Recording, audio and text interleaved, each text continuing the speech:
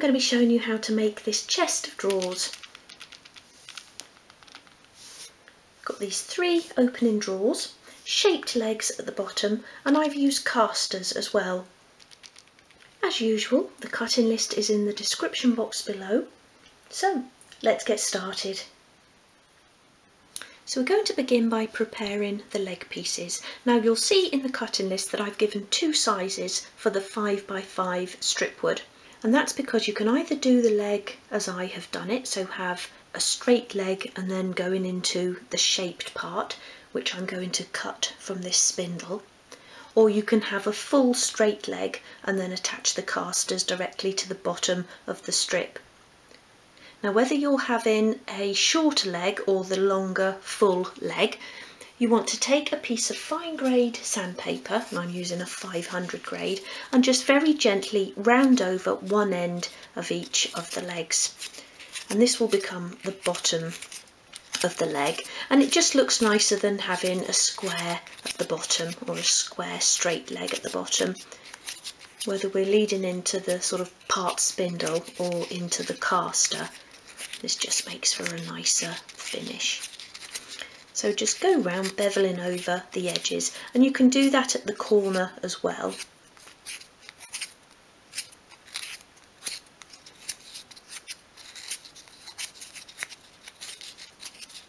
Just sweeping the sandpaper over the bottom of the leg like that at each side. And then you'll end up with something that looks like that. There's a little rounded end there. So do that with each leg. So for the shaped part of my leg, I'm using the inner part of a 24th scale newel post. And I can't even remember where I got these now, but I've had them in my collection for quite a while. And I just really like the shape of that central area. But if you haven't got this, this particular one. You could use any sort of spindle or newel post that you may have. And I've got a few different ones here. And what you want to do is just cut a nice section from it of about 18 millimetres and that's just under three quarters of an inch long so you could cut the central part of that or you could include one of the little ridges at the top there and cut just below where it starts to curve in.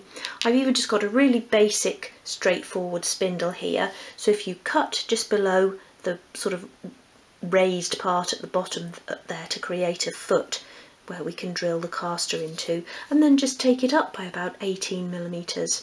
So we, you would just have a bit of a tapered leg with that little ridge on the bottom there. Another similar sort of spindle there. Again you could just cut so you leave in that little sort of foot part to attach the caster and then just take it up by 18 millimeters.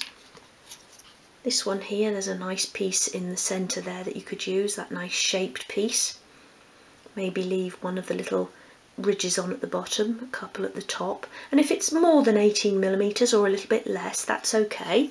You just have a slightly longer or a slightly shorter leg another one here slightly thicker but bear in mind your top part of your leg is five millimeters so you wouldn't want to go too thick maybe that sort of central section there is a little bit chunky for that leg so try and choose something that's going to flow in nicely from the five millimeter leg okay so I'll put those all to one side I'm just using my mitre block and saw to really carefully cut these so that I'm leaving the little sort of raised bits intact.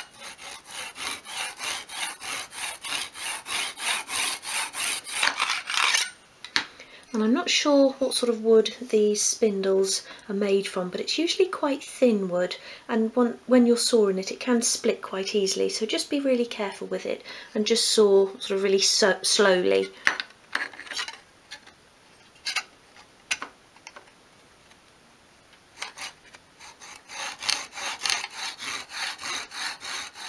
There's my little section and that will go on the bottom my leg like that.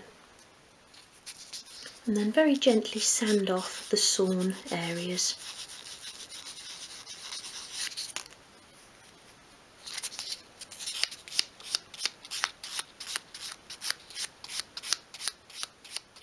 So we're now going to drill a hole in each end of the little shaped leg part.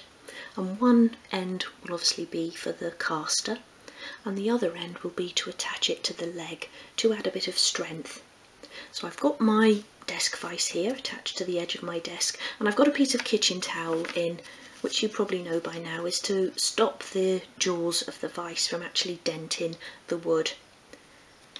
Now I'm just going to find my centre by eye and you can do that if you're good at sort of taking measurements by eye but if not just use your rule to find the centre of the piece and put a little pencil dot in the centre there.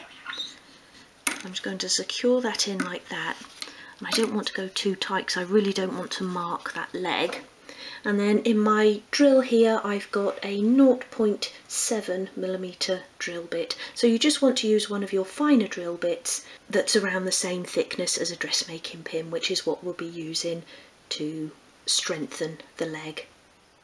So hold the drill as upright as you can and keep it straight as you drill down so that you're not going to split through the leg.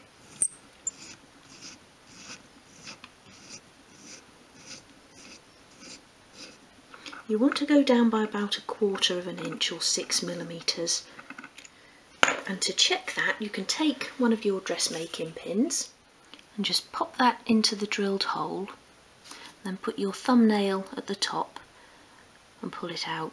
And then you can see how far down you've drilled. I've gone a little bit more than six millimeters there which is fine. So do that with each of the legs. And remember to do the hole at both ends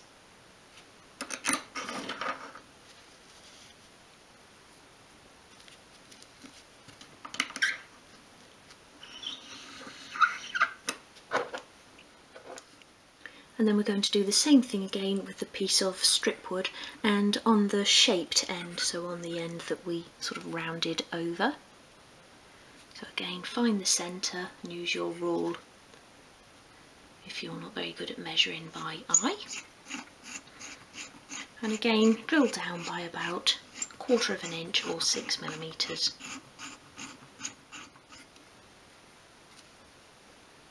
Do that with each of the legs. So to join the legs together, take one of your dressmaking pins and use your pliers to snip off the head. Go just below the head there.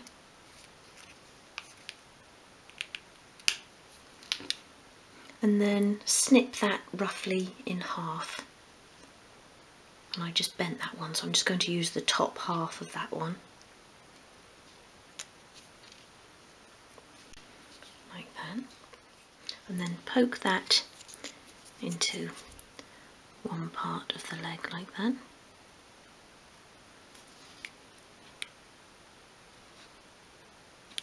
And then I'm still going to use a little bit of glue just around the sort of base of the pin there.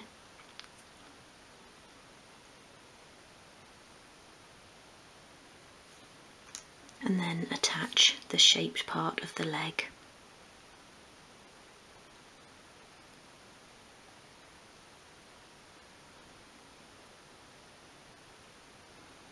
Just push that on carefully and then give them a good firm press together. Make sure that your shaped part is sitting straight on there. Use a spare cocktail stick to remove any excess glue from around the join. And then that piece can be left to dry. So do the same with each of the legs. Pop that on there like that.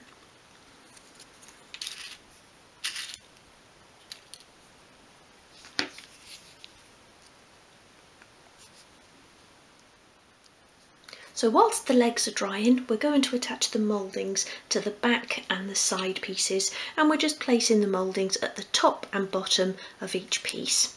So I've got here a cocktail stick to apply the glue and then a spare cocktail stick to remove any excess glue from around the mouldings. So always begin by choosing the nicest side of your moulding and that's a really good habit to get into and then if you find any little sort of nicks in the wood or anything like that any little dents you can glue that side down. That way you've always got the nicest side of the wood facing forwards. Putting that along the top there like that and then I'm just going to bring in a spare piece of strip wood and I like to press both pieces up against it and that way you you know you've got a nice flush top edge there. Carefully remove your excess glue and then attach the remaining moulding to the other end. Again checking for the nicest side and I've also got here to my right my um, basket of clothes pegs or clothes pins and I'm going to be using those to secure the mouldings into place. And I always like to use mouldings on pieces. Not only does it add a bit of detail but also it adds strength to the piece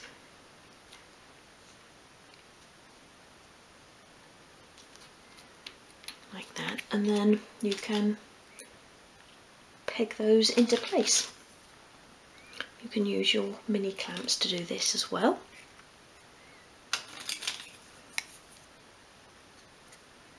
And that piece can then be put to one side to dry and you can do the same with the back piece and the remaining side.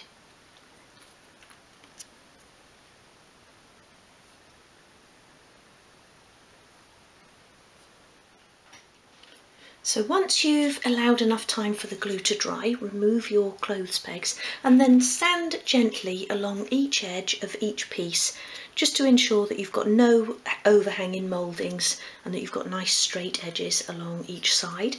So just with your sandpaper flat on your work surface, sweep it along in one direction do that on both sides. And don't rock it back and forth like that or you'll round off these corners. So do that with each piece and I've done these. And if you find that you've got a lot of moulding overhanging in any areas it might be that you've cut it just a little bit too long you can turn the piece over and just use your craft knife just to trim along the edges. So what we're going to do now is attach a leg to each side of each side piece. So apply glue along the sides of your side pieces. There's a lot of sides there.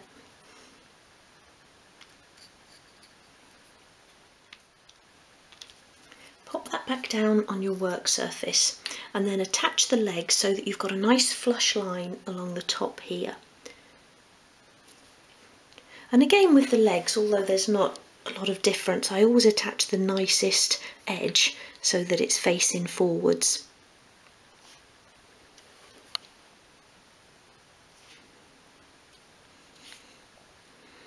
So if you sort of had any knots or anything in the wood, little grazes or anything, then you can place them so that they're going to be tucked inside.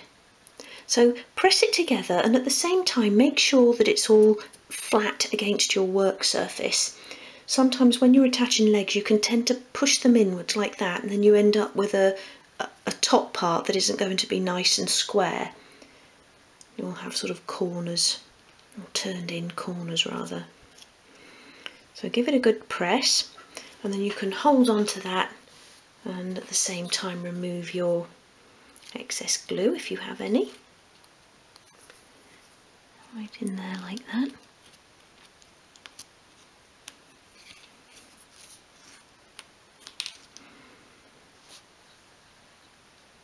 Another firm press and then just slide that piece along and you can leave that to dry. Slide it along rather than trying to pick it up or you might just pull it apart. And then do the same with the remaining side and legs.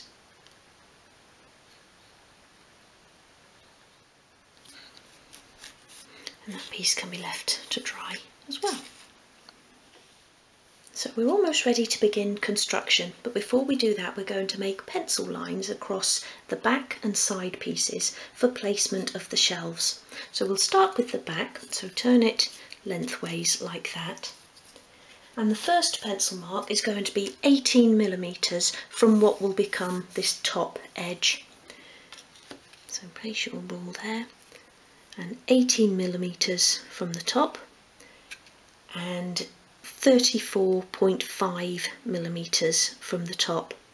And in inches that's 45 64ths of an inch and 1 and 23 64ths of an inch. So do those little pencil lines at each side of the back piece.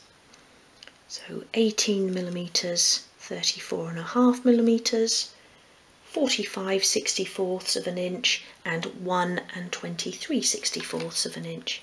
And then turn the piece the right way around. Place the rule switch just below the pencil marks so that you're allowing for the thickness of your pencil tip and join them up.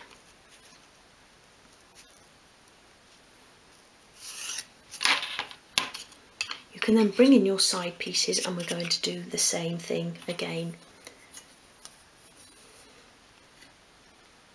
When I'm marking up the side pieces, I just do it on the actual side and I don't continue the line onto the leg. And that's just because the shelves are only going to sit on that inside edge and it makes it more difficult to erase the pencil marks on the legs once the piece is constructed. So just do it on that central area. So again, 18 millimeters, 34.5 and that's 45 64ths of an inch. 1 and 23 64ths of an inch. And again join those up. Just sticking to that inside piece there. And then do the same with your remaining side piece. Now construction can commence so we're going to begin attaching the back piece to one of the side pieces and it will sit towards the front edge of the back leg. So we don't want to put it right back to the back of the piece. We're putting it so that it's along the join really between the leg and the side piece. So I'll glue it into place and then I'll pick it up and show you a bit more clearly what I mean. But I do construct a lot of my furniture in this way, so if you're familiar with my tutorials you'll probably know how things go together.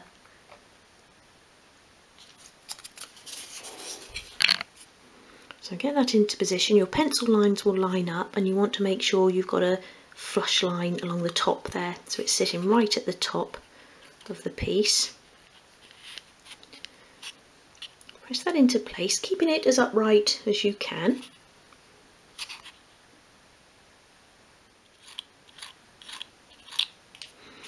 Rid of that bit of excess glue. And I'm going to do the same around the back there as well. You can probably see there what I mean about the positioning. But let me see if I can pick that up and show you some sort of bird's eye view. So we've got that same little lip at the back there as we have on the side. Like that so keep your piece on its side and bring in one of your four pieces. So we've got the top, the bottom and the two shelves. And they're all identical, so just bring in one of those pieces. And this is going to sit at the top here so that it's on the inside edge of those pieces. So apply glue to a long and a short edge. And apart from those um, little festive fun projects I did over Christmas. I can't remember what the last tutorial was that I did. It just seems like it was such a long time ago, so it's really good to be getting back to furniture tutorials.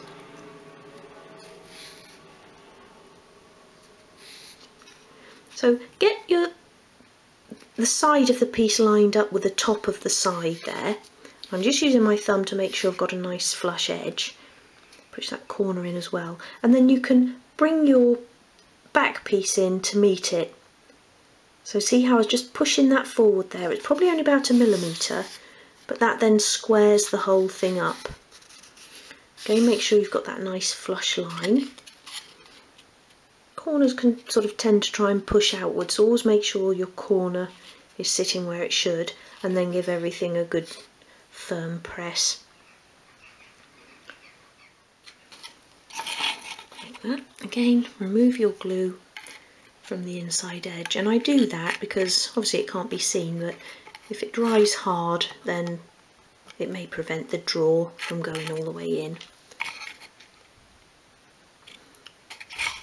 If, the, if it's trying to sort of go downwards then make sure you push it up so that it's flush and as the glue dries things do sort of try to move around so always keep looking and checking that everything's staying where it should. Okay so now bring in your second of those pieces and this will be our first shelf and these shelves are going to be sitting above the pencil lines. So again apply your glue to a, a short and a long edge.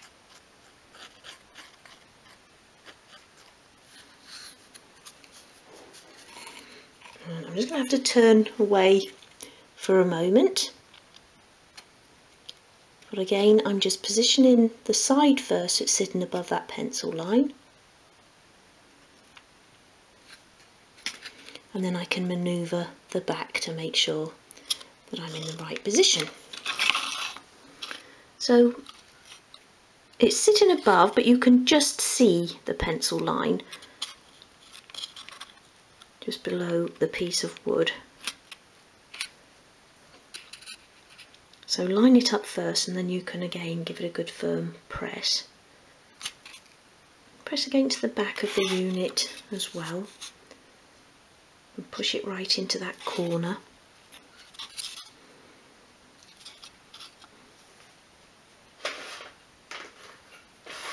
I'm just bringing my spare piece of strip wood back in because I can't get my finger in there now. I'm just going to use a, pair, a piece of strip wood and just push that corner down just very slightly, just a little bit high.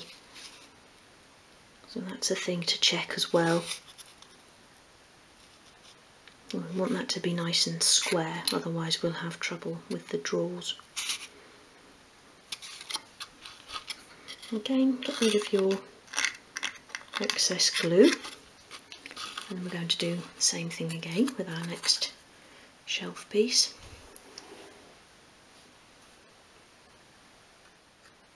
Actually, it might have been the bed that I did last, was it, for the guest bedroom? The bed with the padded headboard. That might have been it.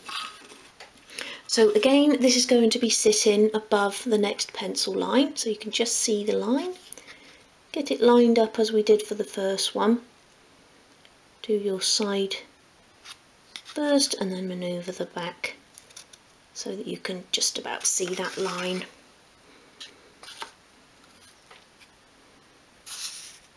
Press it all into place. It went into place easier that one, you find that sometimes. And I wanted this sort of long drawer look, but if you would, you know, wanted rather than three long drawers to maybe have six half-sized drawers, then you could make a divide to fit into each of these openings or you might just want two drawers at the top. Also all of mine are the same height and that's because I've got to fit my drop handles onto the front but if you wanted to have a narrower drawer at the top and then getting wider as you go down you can do that and it just means you would put your pencil lines in different places so there's lots of ways you can you know personalize my tutorials to suit your own style or the room that you're actually making them for. So always have a think about that. You don't have to do it exactly as I'm doing it.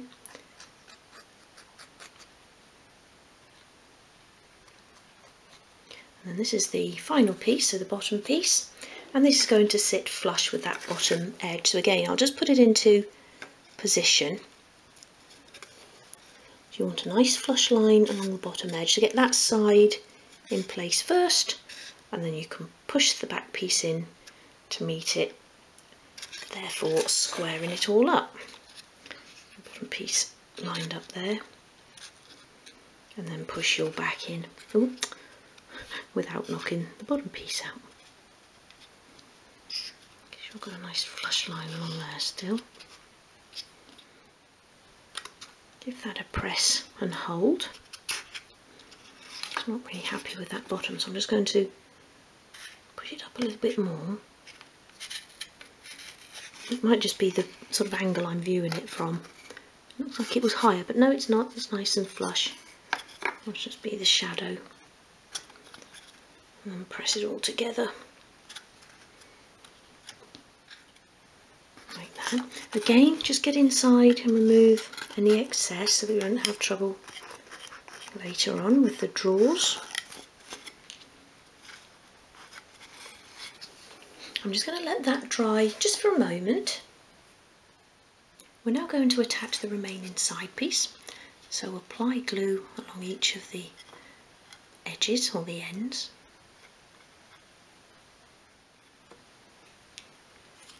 And then attach the side piece so that you've got a nice flush line along the top edge there. And you also want the shelves to be sitting flush along the front of the front leg. So start by getting your sort of top piece lined up and then you can make sure it's lined up along that front. And then what you can do is just carefully pick it up and then make sure that you're, see how the bottom there is sort of trying to lift up. So make sure that that's flush with the side. And then peep inside and line it up with your pencil lines. So again, they should be sitting just above the little pencil lines in there.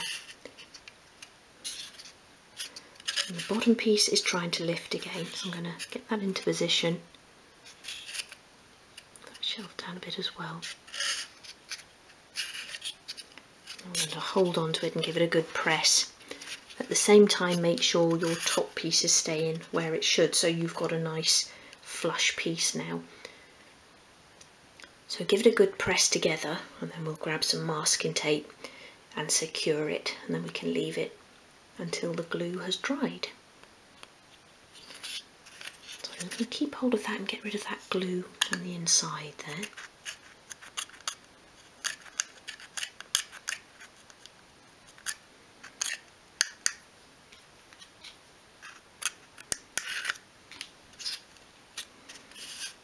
making sure that bottom and top piece are staying where they should.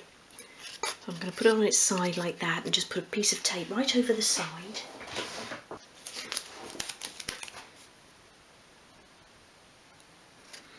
So place it over like that. You want to pull it nice and tightly, but at the same time make sure you're not knocking any of the pieces out of place. Put that down like that and then I'm going to lay it onto its back like that and put a couple of pieces right over the front.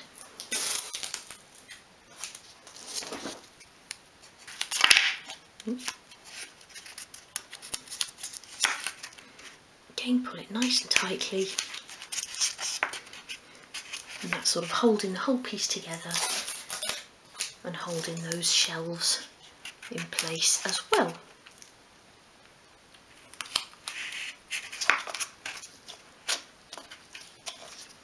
Okay, that piece can then be left to dry.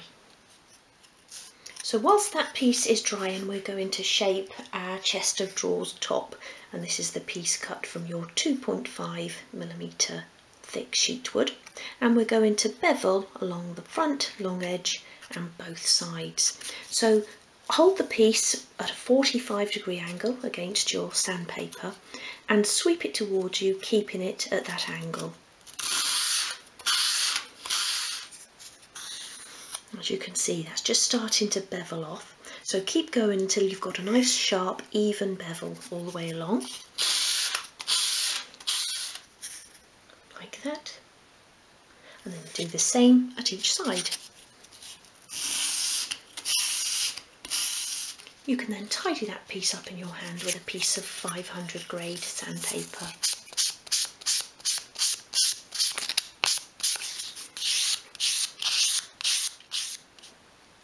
We're now ready to attach the top piece. So apply, apply glue to the top of the unit. Glue's just starting to go a little bit claggy. I should still be able to use it. Make sure you get the glue right along the edges and right into those corners as well on top of the legs. And I've got here ready my masking tape and my clamps as well. When I'm attaching a top piece, I always like to use clamps along the front edge, which secures it nicely into place. Get those lumps out of there. So bring in your top piece and we're going to attach it so that the straight edge, so the unbeveled edge, is sitting along the back of the back legs and so that we've got an even overhang at each side. So get it into place so that you've got that nice flush line along the back and I'm just feeling with my fingers there to make sure that it's sitting to the back edge of the back legs. So you don't want it flush with the actual back of the unit but the back legs like that.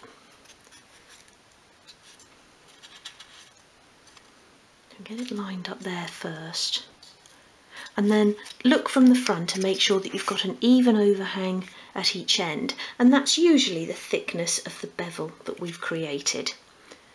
And I think that looks about right. And then you'll have that nice flowing line along the front. The bevel sort of coming up from the top of the top piece there. I also like how the corner of the bevel follows the line of the corner of the leg. So that's something else you can check for. Okay, so give that a good press and when you're pressing, I'm holding onto the supported part of the side, so don't press onto the bottom because it's only sort of 1.5, you'll probably end up splitting it if you press too hard. And at the top there, I'm pressing down on top of the legs, again where it's well supported. So give it a good press and then I'm going to hold on to it like that and just remove the excess glue around all of those edges like that. Oh, thank you. Nice cup of tea just arrived. and then I'm going to put a piece of masking tape right across the top there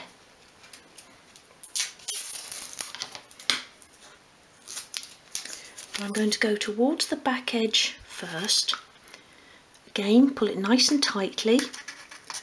Stick it down the sides there. And then I'm going to put a piece across that front as well.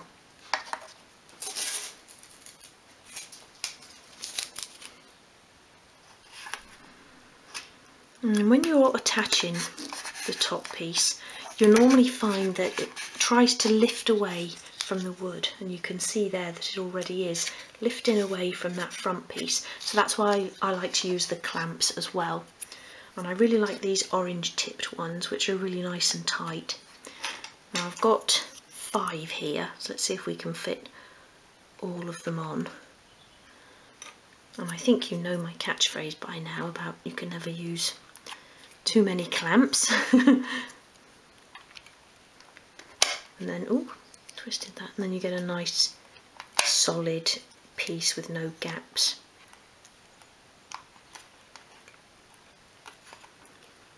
And as well, these go onto a sort of flat piece of wood really easily, but if you're ever attaching them to, you know, a piece of strip wood or something, always just make sure they are actually clipped on before you let go of them.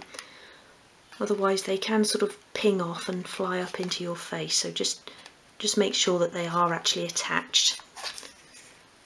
I don't know if you can see in there now. If you look in there you can see that we've got a nice tight line across there now. No gapping. So I'm going to leave that to dry and I'll lay it on its back because now it's top heavy it will just topple forwards. And then we can cut our drawer pieces. So once you've allowed enough time for the glue to dry, remove your masking tape and then I've just given that a gentle sand just to remove any pulls that the masking tape may have left. Now again if you follow my tutorials you'll know that I always advise to cut the drawer pieces after construction of the main unit and that's just so that we can get accurate measurements. Now also I always give sizes in the cutting list but they are to be used as a guide as Slight misplacement of any of these pieces will affect the size of the drawer opening. So I always advise construct this piece, measure and then cut the pieces that you'll need for the drawers.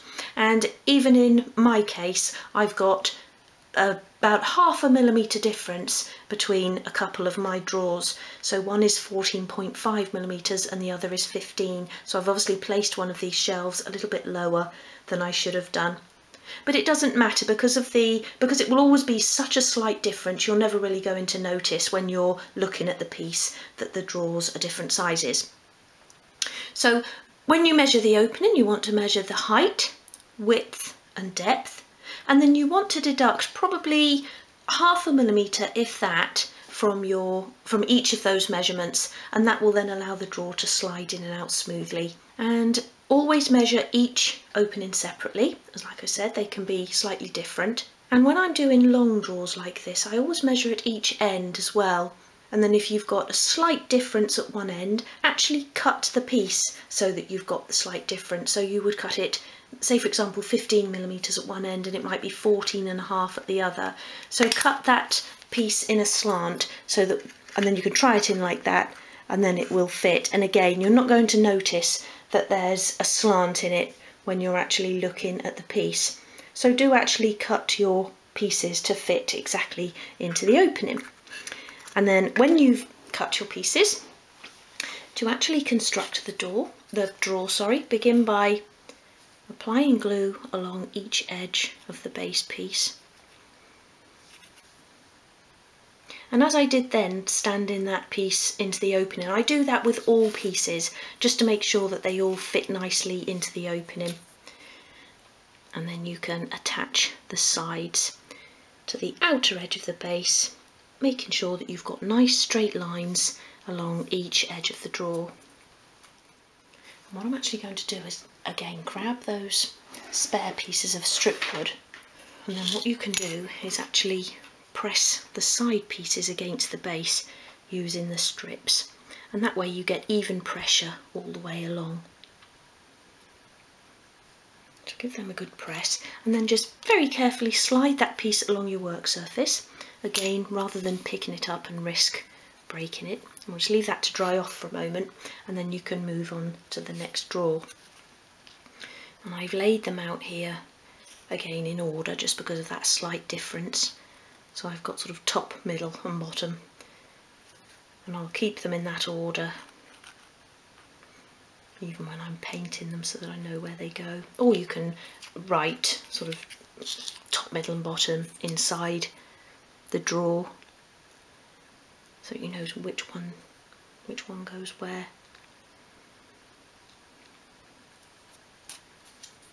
It's very unlikely when you're doing um, sort of several drawers of the same size that they are all actually going to be exactly the same size so don't worry if you have sort of placed the shelves slightly differently. Slide that along. The final one so once you've fitted the side you can come back to your first drawer which should now be dry enough to handle and apply the glue along the front and back edges and then we can attach the front and back pieces. I've just fished out a long piece of strip out of my little drawer and again I'm going to press these pieces into place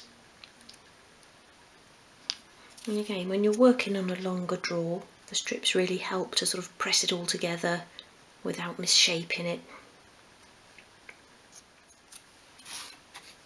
So pop that back down and then attach the front and back pieces so that you've got nice flush edge edges again along each side. And you may need to pull the side pieces up just to meet meet the front and back piece. And keep it all oh keep it all nice and square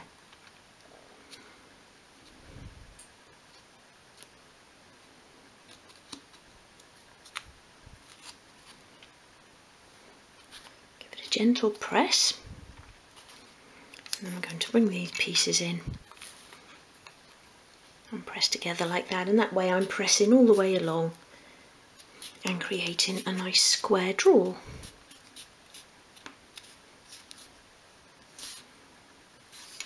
That can then be left to dry. And once it has completely dried we can very gently sand around all edges to smooth that off. And then it will slide in and out nicely when we come to fit it into the opening. Pop that one there. So once you've allowed enough time for the glue to dry, you can just very gently sand the drawers on all edges and then try them into place and if they're a little bit tight, do a little bit more sanding, but only ever do a little bit at a time and then try again and sand again if you need to, otherwise you might end up with gaps around the edges. All of these pieces are now ready for paint. Get those drawers out of there. And when I'm painting, I don't paint inside the drawer openings. I just do a little light brush around the outside edges, just so that there's no natural wood showing through once the drawers are in place.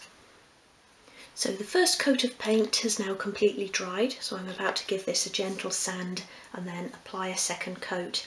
And to create this sort of off-white colour, I mixed a very, very pale grey it's almost like a sort of silvery grey, in with a bright white, so sort of like an arctic white. So it's one part grey and four parts white. And I had sort of a half a tub here, so I've mixed it in there and I'll keep that for the rest of the furniture.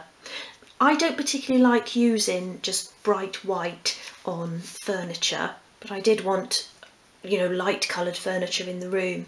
And if you have a look at the wallpaper, you can actually see that the background of the wallpaper is a very similar colour to, to what I've created. And there is actually a very pale grey feather in the pattern. So I think this will fit in there really nicely. So I'm now going to use a 500 grade sandpaper to give this a really light sand and then I'll do a second coat.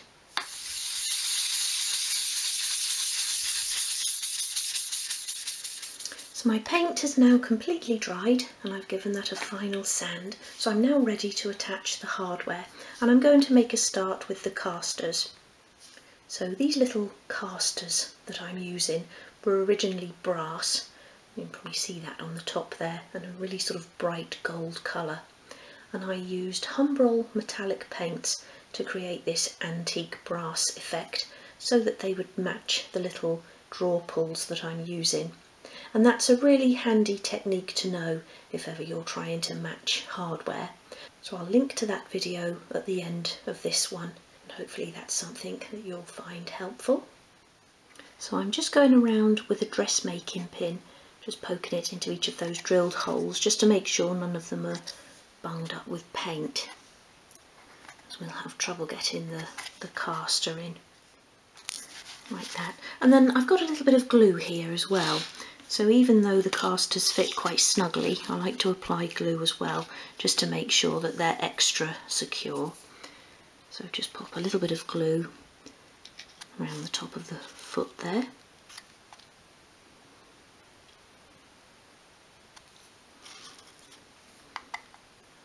And then push the little stem of the caster into place.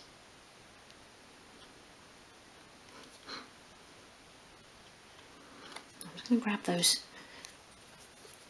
tweezers again and push it underneath the wheel and just push that down. And just use your cocktail stick to remove any excess glue.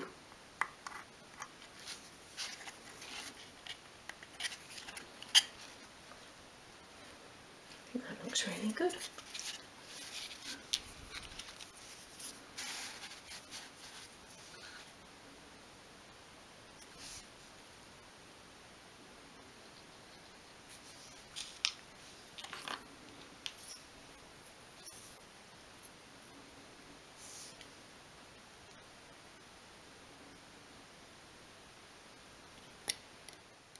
So I've marked up my drawers here and I've done the pencil marks 12 millimeters in and that's half an inch and then 3.5 millimeters from the top which is just over one eighth of an inch.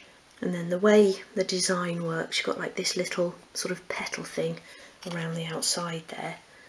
So the top of that will be one millimeter from the top of the drawer.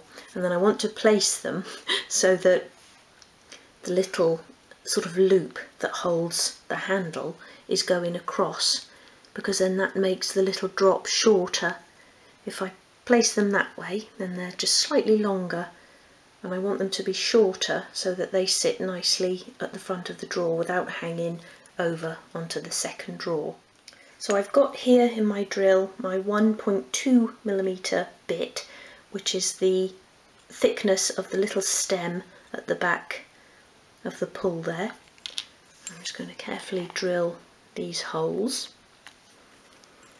And when you do that, make sure you're not putting too much pressure on your drawer front.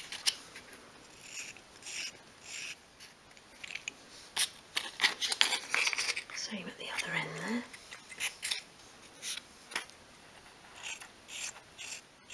So again, I'm just going to use a little bit of glue on the back pull just to really secure it into place.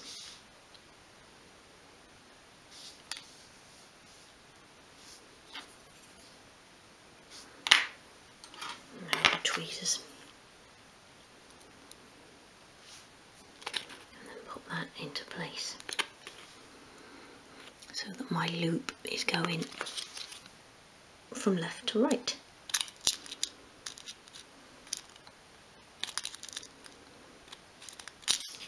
Make sure it's sitting flat against your drawer front. I think I just need to push that in a little bit more.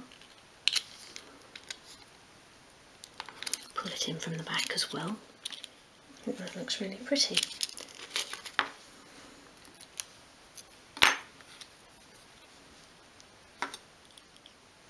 Like that.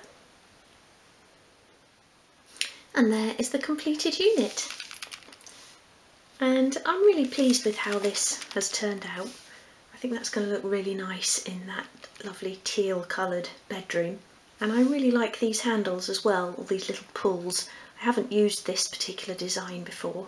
I'm really pleased with how they look and I'll be using these on all of the furniture in the bedroom and I think the casters just add a really nice detail as well make it look like a really sort of old chest of drawer unit and I'm looking forward to trying this inside the doll's house. So let's go and see how it looks. And there is the chest of drawers in its new home.